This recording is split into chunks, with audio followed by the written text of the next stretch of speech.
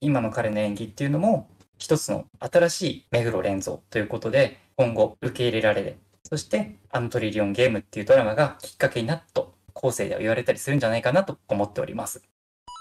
ポロロです。歌丸です。トリリオンゲーム第8話お話ししていきましょう。はじめにちょっとだけ自己紹介をさせてください。僕は映画やホームシアターに関するブログを1年間続けた後に YouTube での活動を始めた配信者です。相方の歌丸さんにトリリオンゲームの漫画の話を聞かせていただいてからドラマトリリオンゲームを取り上げるようになって今までの1話から7話までも全てお話をさせていただいております。そちらも一緒にご覧になっていただければ嬉しいです。トリリオンゲーム第8話本編のあらすじを今回持っていきましょう。よろしくお願いします。はい、お願いします。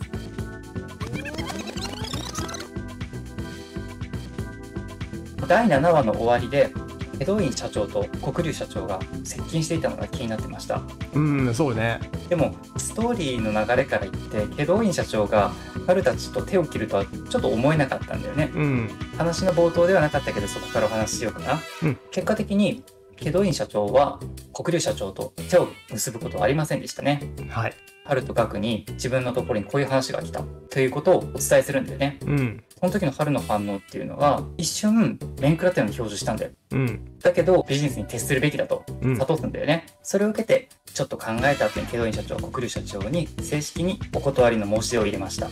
はい。まあ黒龍社長と手を組めば手堅かったんだよね。そうね。だけどケドイン社長は人生はギャンブル倍率が高い方が燃えるというセリフを吐いて黒龍社長の申し出を断ることになりました。ここでもトリリオンゲーム社に軍配が上がる形になりました。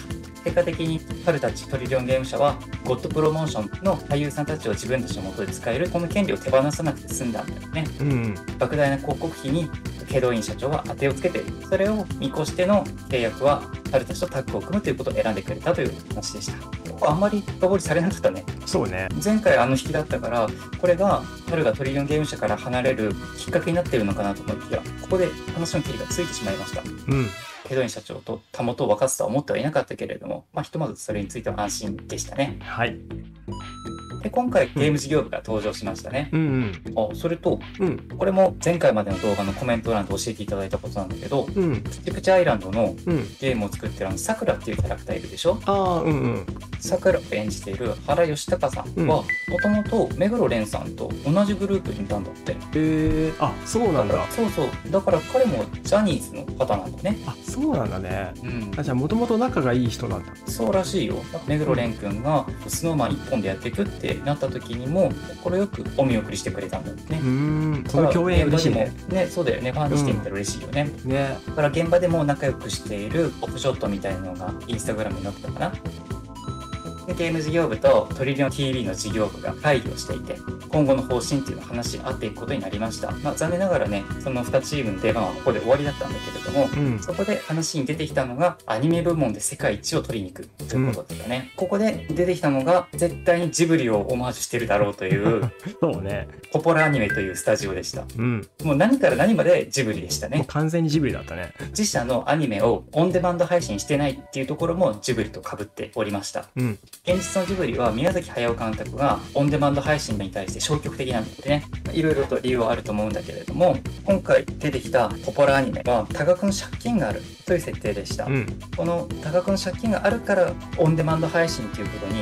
今回踏み切ってくるんだよね。うん、うん、現実のジブリは多額の借金を抱えてるってことはないと思うんだけどうん、今回はそういった事情があるのでポポラアニメのオンデマンド配信の権利っていうのをトリリオン TV 社とドラゴンバンク社で奪い合うというストーリーになっておりました。これが今回の話の筋でしたね、うん。先手を打ったのはトリリオン TV と思いきや実はドラゴンバンク側でした。はい。前回の話で D-REX っていう世界規模で展開している VOD の会社を買収していたんだけどうん、ここでポポラアニメを独占配信するっていう契約を結んでたのね。うん、その他にもね D-REX はどんどんどんどんぶち上げていてテレビメーカーと業務提携をすることによってリモコンに D-REX にすぐアクセスできるボタンを取り付けるという契約をしていたり1年間無料ぶち上げたり次々と斬新な一手を打ってきてました。ところでこのテレビのリモコンにボタンをつけるっていうのは各家電メーカーと VOD の会社っていうのが契約をして行われることなんだってねああ、そうなのね。うちのテレビのリモコンにも Netflix のボタンついてるんだけどうん。どこのメーカーのテレビのリモコン見ても大体ついてるうね、ん、あるよね。Amazon プライムなんかはあんまりついてないんだけど最近のにはついてるみたい、んこの辺も競争しのぎを削り合ってるね会見でド派手に発表してたんだけどそこの会見の場にいたトリリオン TV のキャスターである白虎あかりさんがこれはトリリオン TV の宣戦布告ですかとはっきりと聞いたんだよねうん。これに対してはこの会見で登壇していた桐姫もそうですとうなずきましたねうん。これはもう IT 戦争なんだということでそこで春の話題になったんだよねうん、そうね。きっと世間の人は春の存在なんて認知してないと思うんだけどうん。あなた春が好きなのという話になっておりましたうん。そしたらね白虎さんは「はい」と「はい好きです」という言葉を返しておりましてこれまたネットが湧くんじゃないかなと僕は前回に引き続きね思ってたんですけれどもうん。春も意外とちょっとまんざらでもないような笑いを浮かべてたんだよねうん。だけどその後会見が終わって白虎さんがちょっと言い過ぎてしまったと自制してたんだけどうん。そこで春がねフォローするんだよね場を盛り上げるためにあんなような発言をしてくれたんだなということでフォロー入れてくれました春も一瞬嬉しそうな表情はしてたけれどもあくまでもここの関係はビジネスということでうまいフォローしてましたねうん。そうね。この辺の恋愛模様っていうのはやっぱり原作にはない部分なのかなうん。全くない。全くないドラマ向きの うん。そうだね。ファン向けのサービスということでね僕はこれはまたネットが湧くぞなんてニヤニヤしてたんだけど、うん。実際に湧いたのはこの後でしたねああ、そうだね。桐姫と焼き鳥に行くという場面がありましたこれがネット上では焼き鳥デートにキュンキュンすると騒がれておりました桐姫と春という2人を推しカップルとして見る流れがありますねうん。まあ僕からしてみたらねあれは別にデートでも何でもないだろうっていうこう一男性としての意見なんだけど これについては女性はそうは思わないのかな？あれは立派なデートなんでしょうか？焼き鳥のタレがついてたじゃない？はいはいはいあれ取った後もさ、ずっとついてたよね。そこがすごい気になってさ、このシーン。まあ、そうか。よく見てるね。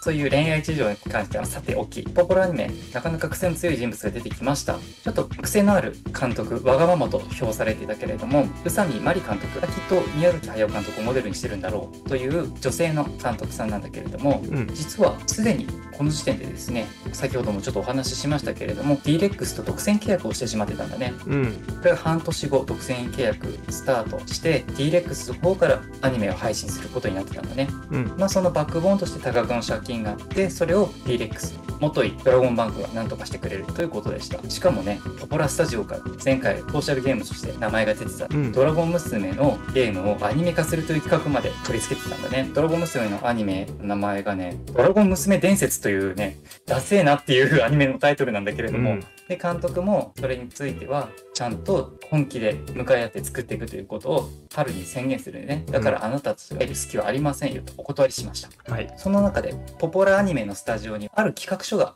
置いてあるのを春は発見しました。うん。この企画書っていうのは「風の丘の少女」という風の谷のナウシカを彷彿あまり言わない方がいいのかな。あの彷彿させるタイトルのですね企画書が置いてありました。これに春は目をつけてですね切り込んでいきます。これはですね独自にリサーチしてたんですね。実はポポラスタジオというのは安住プロデューサーと宇佐美マリ監督が2人で立ち上げたスタジオったんでねこの宇佐美マリ監督がちょっとわがままでそれに引っ張られるような形で安住プロデューサーがこのスタジオを支えてるというタッグでやってたんだけれどもこの2人が初めて企画した映画っていうのが「風の丘の少女」だったんだね。後々の会見で監督は安住の持ってくる企画はどれもこれもボツになるような話ばっかりだったけどこれだけはすごく良かった。でもその時のスタジオを取り巻く事情が許さず未だにお蔵入りにしてるっていうお話をしてましたガクはここですごく共感してたんだよねうん。この安住プロデューサーと宇佐美マリ監督っていうのが自分とハルくんのようだと共感をしていましたそこに重なったものだからまあハルもガクもですねぜひこの「風の丘の少女」を自分たちの音でアニメ化したいという思いをどんどんどんどん強めていくんでねうん。果たしてこれはうまくいくのかっていうのが今回の話の肝だったかなと思いますその後春が桐姫を焼き鳥屋に誘うことになりましたはい。その目的とはただデートをしたかったではなくってポポラアニメを俺たちに譲れという話をしてきたんだねうん。春にしては珍しく直球できたなと思ったんだけどうん。何か自信があったのかな？桐姫は条件を一つ突きつけてきました春とガクを自分のペットにするというはい。それがポポラを譲る条件やっぱりこの2人セットで欲しいね春も一瞬考える顔をしたんですけれどもこれについては条件は飲めないとお断りしましたはい。なかなか春が現実のタイムララインでいない理由が出てこないね。うん。どんどん可能性を潰していくね。そうね。ところがこれがね実はちょっと後々つながっていくことになるのかなと思います。ここでは断りました。そしてトリリオンゲーム社の収入を激減していました。追い込まれてしまったトリリオンゲーム社なんですがもう一度今度は安住プロデューサーに接触を図ります。ドラゴンバンクは儲けしか考えていない。クリエイターの魂を売るのか？という本質に切り込むような説得を試みるんですが監督が NG を出しているから私の力だけではなかなか難しい。というふうに言われてしまいます。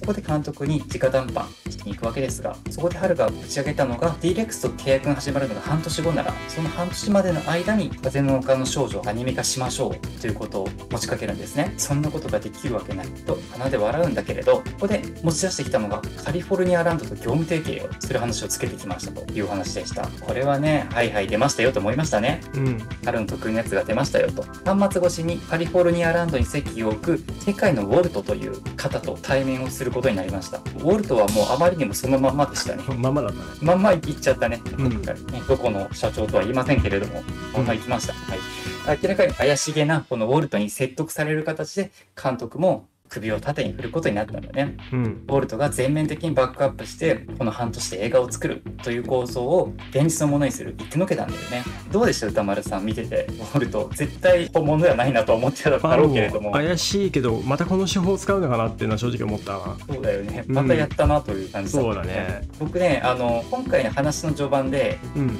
AI の話が出てたからうん。このボルトは AI じゃないのかなと思ったんだよね なるほどね。でもねただの深読みでした、うん。この後ボルトは一バックパッカーとして普通に登場してね。そしてそ それで大丈夫だったのかというと、あのウォルトはメディア嫌いであまり顔を出していないということでそれで監督をハったりに落とすことができたというお話でした。でもだとしてどうするつもりだろうと思ってたんですけれども、うんトリリオンゲーム社の会見でポポラスタジオが自分のところで半年間で「風の丘の少女」というアニメを作りますということを発表する場を設けました。一発逆転を狙ったわけですね。はい。ところがその会見の直前に桐姫が接触をしてきて春のハったりっていうのを全てバラしてしまいました。宇佐美監督も騙されたことに気づきトリリオンゲーム社はそういう企業だっていうことをこの会見で全てバラさせてもらうということをお話ししてました。はい。春もそれでいいですよなんてことを言って回るもんだからガクはもう目ん玉ひんむいてたんだけどどうするつもりなんでしょうね。この時点で監督ってわざと騙されてた？もしかして。いや違うこの時点でまず気づいてなかったかな。うん。うんこの後記者会見で「風の丘の少女」の話をするんですけれどもここでトリリオンゲーム社は自分にボルトと一緒に映画作りさせるという夢を見させたでもそれはあくまでも嘘で自分は担ぎ上げられた。トリリオンゲーム社と業務提携することはできません。というのかと思いきや実はそうじゃなかったね。うん。驚いたことに彼が風の丘の少女を作りたいっていう熱意がちゃんと伝わってたね、うん。トリリオンゲーム社のやり方っていうのは良くなかったけれども風の丘の少女を作りたいっていう思いとそして安住プロデューサーがもともとこの曲を立ち上げててその企画がとても良かった。自分の金銭に触れてたっていうことを思い出してやはりこれではトリリオンゲーム社で作りますっていうことを改めて宣言してくれましたね、はい。でさらにですねここからが春の一番の真骨頂が出たのかなと思ったんですけれども、うん。まあ、勢いそのままにポポラアニメはうちで独占配信しますって言ってちゃいましたね。うん。ああこれ勝手に一人で暴走したなって僕は思ったんだけどやはりその通りで終わった後に独占契約の話なんていつの間にって聞いたガクに対してこれからだよって言ってのけてましたね。この時のガクうん。すごく驚いてたんだけどガクも自分がハッタリを使うようになったんだけれどもなかなか春のハッタリになりないね。うんそうね。うん。驚かされてばかりということで。そして監督も分かった上で話を受け入れましたどこで監督は気づいてたのかなうんなんか今回よく分かんなかったなと思って正直うん、そうなんだよね。ちょっとこれうまくいかなかったらどうするつもりだったんだろうっていう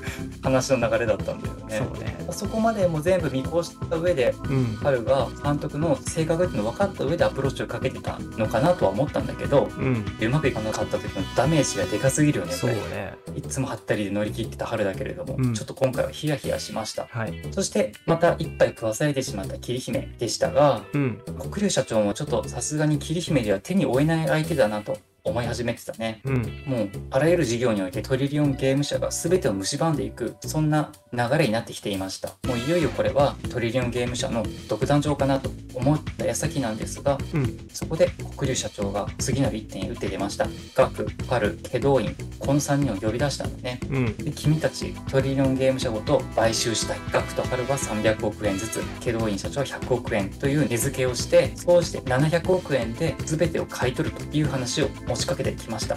とんでもない金額だね、そして春お前は桐姫と結婚して黒龍家の人間になれ。という話が出て今回は幕引きとなりました。見えてきたね。見えてきたけど焼き鳥屋でははっきりとそれに近い申し出を断ってたからね。これ原作でも最後にしてくるんだけど、あそうなんだ。うん。まあ、そこの答えが変わってくるのかなって感じがするよね。うんうん、もちろん原作ではそこでお断りしたということなんだね。うーん、断ったというよりって感じだったかな。言い回し。そうなんだ。うん。ちょっと展開が変わっていきそうな気がしたかな、今回は。うん。そっかそっか。あ今回は漫画原作との違い何パーセントですか？えーっと、2%ぐらい。日常のところが2%うん。ね。違いで言えばもう完全98%。に完全にオリジナルの展開に入りましたね。うん。まあそれゆえかちょっと脚本甘いところもあったなって気がね。ちょっとごめんなさい。そう彼の意見で。前回のニュースの話だったかな。はいはい。前回から結構もう運任せなところが多かった気がして、うん。確かにね。あの、メガネの絵にカメラがあった話とかさ、うんうんあれもね。あれも運だし、そうだね。なんか YouTuber が絡んだシーンも割と運じゃないなかなかこの最近なんか運が絡むこと多いな気が最近ちょっとしてたからそうそうだね。うん うすうす感じてました。ね。やっぱりね秀逸である原作からちょっと離れ始めたのはもうこれはもう仕方ない流れなんだけど原作は完結してないからね。こうなってくるとやっぱりちょっと脇の甘さがちょっと目立ち始めちゃってるね。そうだね。ちょっとそこが気になったかな、前回から。来週から最終章ということでねここから挽回してほしいなと思うんですが、はい。そんな展開になりつつあるトリリオンゲームなんだけどうん。ちょっとね視聴率が芳しくないんだよね。うんそもそも僕もですねテレビで見てません。ごめんなさい。うん。もうネットフリックスや TVer で見てるんだけどうん。多くの人が地上波で見る時代ではなくなっているっていうのがまず一つバックボーンにあると思います。うん。僕は視聴率に貢献できてないんだけど、まあ、せっかくなので TVer ではお気に入り登録というのをしておりましてうん。これは95万まで来ててあともうちょっとで100万なんだよね、最終回に向けてうん最終回に向けて盛り上がっていくだろうからうん。うまいこと100万に乗ってくれたらなとちょっと思ってるんだよね。ああそうだね。うん、ぜひ登録だけでもしていただけるとトリリオンゲームへの応援になるんじゃないかなと思います。ぜひよろしくお願いします。お願いします。それから話題のドラマで「ビバンがあると思うんだけど、うん。これはねすごく考察のしがいのあるドラマということで生放送でこそ盛り上がるタイプの話だよね。ああそうだね。だからこれやっぱり視聴率が高いですね、うん。そこへ行くとトリリオンゲームっていうのは、まあ春のハったりそれから学の IT を駆使したテクニック楽しむドラマだから、うん。いち早く見て考察を誰かと一緒に盛り上がりたいとはまたちょっと違う雰囲気なのかなと思っています。うん、だからまあ視聴率芳しくないのも仕方がないことなのかなと。だけどもう一つの理由としてうん。目黒蓮くんのうん。ちょっと演技が違うんじゃないかと言われてるらしいんだね。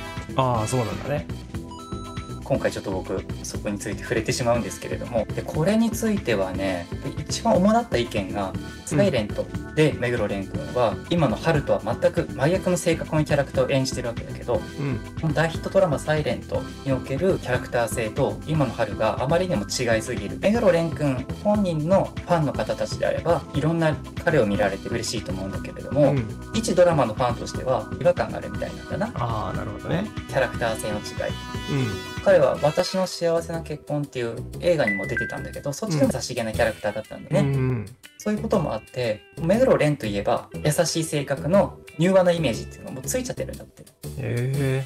だから今回の春のキャラクターって新しいんだよね。歌丸さんが最初の動画で言ってた通りうん。バッチリハマってると思うんだよ。春そのもの、目黒蓮君ね。うん。だけれども今までのドラマで彼を見てきた人間にとってはちょっと違和感を感じてしまうんだってそれが今回の彼の演技はわざとらしいんじゃないかっていう評価につながってしまってるんだってね。ああそういうことか。だけどねもともと作品を見てない僕みたいな人間にしてみたら、ね、違和感があまりなくって。うん。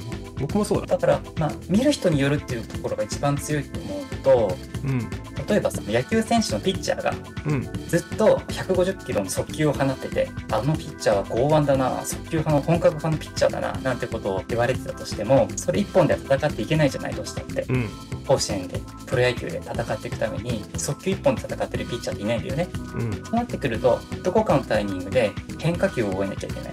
カーブを投げることを覚えなきゃいけない今の目黒蓮君の状態ってそういう新しい武器を身につけようとしてるんじゃないかなと思うんだよね。だから今のトリリオンゲームは、まあ、速球派のピッチャーがカーブを投げてるようなもので新しい技新しい技術を身につけている過渡期にあるんじゃないかなとうん。思うんです。まあ僕みたいな高速球投げてることをもともと知らなかった人間にとってはそのカーブでキレキレ前してるんだけどなので今までのドラマウォッチャーの方々から違和感を感じられたりもするかもしれないけれどもそれもまた一面であって今の彼の演技っていうのも一つの新しい目黒連続ということで今後受け入れられるそしてあのトリリオンゲームっていうドラマがきっかけになったと後世では言われたりするんじゃないかなと思っております。はい。まあ人評価は人それぞれということでね、うんどうなるのでしょうか今後のね彼の活躍にもまだまだ僕個人としては期待しておりますまあ、いろんな声があるからね。あるからねしょうがないよね、はいそれはね。うんまあね第8話が終わったということでそういう評価の面でもまとまってきてるんだけれども、うん。第9第10とね特に脚本面での挽回をちょっと期待したいなと。いうところですね我々としてはね